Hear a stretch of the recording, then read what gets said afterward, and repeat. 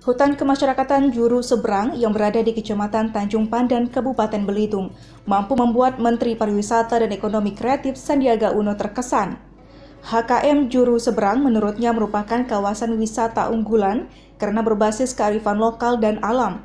Di hutan ini, pengunjung dapat melihat secara langsung aktivitas penangkapan kepiting serta marina. Ulangi, di hutan ini pengunjung dapat melihat secara langsung aktivitas penangkaran kepiting serta marina. Melihat potensi tersebut, Sandiaga Salahuddin Uno akan melakukan konsolidasi dengan Kementerian Lingkungan Hidup dan Kehutanan, Kemenko Maritim dan Investasi, serta pemerintah provinsi dan daerah untuk mengembangkan roadmap dan master plan wisata. Hal itu perlu dilakukan karena lokasi hutan kemasyarakatan Juru Seberang masih membutuhkan sejumlah fasilitas pendukung yang penting agar para pengunjung tertarik dan merasa nyaman ketika menikmati kondisi dan panorama alam yang ada lanjutan konsolidasi hari Senin dan Selasa uh, di tempat Pak Bupati dan harapan kita juga agar langsung bisa terintegrasi dengan Bukit Paramount.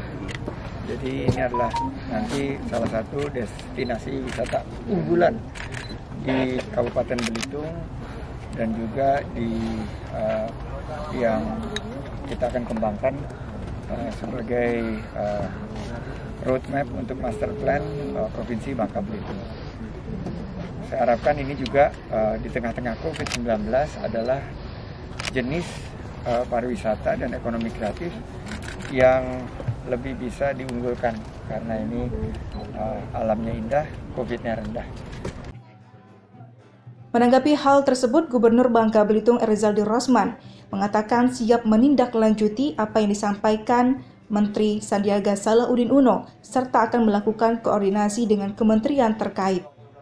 Itu kita tindak lanjuti langsung besok rapat konsolidasi antara Kementerian uh, Pariwisata, uh, Menko uh, Maritim dan Invest, Investasi, dan Kementerian Lingkungan Hidup bersama pemerintah provinsi dan Kabupaten Belitung dalam rangka memantapkan master plan uh, pembangunan daripada uh, kawasan juru seberang, hutan sosial juru seberang dengan uh, Bukit Paramon. Yang mana integrasi kedua lokasi ini insya Allah kita akan jadikan sebagai salah satu titik destinasi pariwisata kita yang lebih baik lagi tentunya di bawah uh, uh, manajemen ataupun uh, uh, dorongan daripada kementerian-kementerian yang sudah uh, berintegrasi tadi. Nah, Upaya membangun kawasan wisata hutan kemasyarakatan Juru Seberang akan dilakukan secara bertahap. Diperkirakan akan selesai tahun 2023. Dari Kabupaten Belitung, Juprianto, TVRI Bangka Belitung melaporkan. Oke. Saudara Pak. Di sini,